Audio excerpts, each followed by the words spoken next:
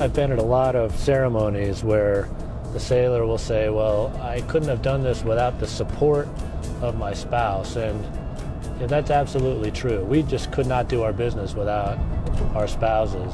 Our spouses stand shoulder to shoulder with us. By virtue of the oath that they've taken to one another, they are drawn into this oath that we take to support and defend the Constitution.